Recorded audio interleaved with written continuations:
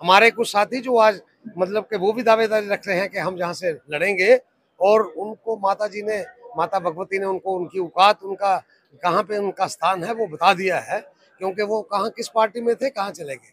वहाँ पे जाने के बाद कहाँ पे पहुँचे? कहाँ पहुँचने के बाद अब कल पता चलेगा कि वो वहाँ से फार्म भरा कि जहाँ निर्दलीय उन्होंने फार्म भरा। और ये सबसे बड़ी मैं कह सकता हूँ माता की फटकार उनको लगी है जो उन्होंने ये कहा था कि श्री माता वैष्णो देवी से बन नहीं सकती। जो उन्होंने ये कहा था कि बलदेव शर्मा डिलिमिटेशन कमीशन की पावर्स लेके कहाँ से आ गया? कि माँ भगवती ने आ, मुझे इस लेवल तक पहुँचाया कि औकात दिखा दी। लेकिन मेरे वो बड़े हैं। मैं उनको कहूँगा कि अगर थोड़ा सा शास्त्र पूजा पाठ उसमें अगर कोई ध्यान हो या कहीं करते हों तो मैंने अक्सर सुना है कि माँ कभी किसी को बदवा नहीं देती है।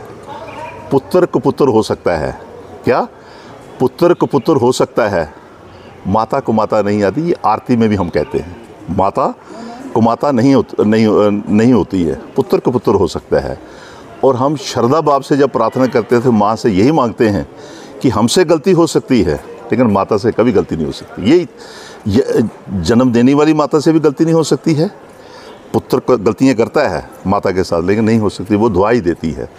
इसी तरीके से माँ भगवती जो हमारी जब माता के चरणों में रहते हैं, हम गलतियाँ करते हैं, शायद उनसे भी कोई गलती हुई हो। लेकिन मुझे इतना यकीन है, उनका कहना तो चलो वो अपने किसी बाप से भी कह सकते हैं। लेकिन मैं आपके द्वारा उनसे और उनके जो सुनने वाले हैं जो भी उनके चहेते हैं, उनको सुनाना चाहिए कि आप आरती बोलिए, पूजा पाठ कीजिए, उसमें देखिए, वहाँ एक एक एक ऐसा श्लोक आता है माता का, जिस वक्त हम आरती करते हैं, हम प्रेम भाव से और उसमें कहते हैं कि अगर माँ हमसे कोई गलती हुई है, उसकी हम क्षमा चाहते हैं।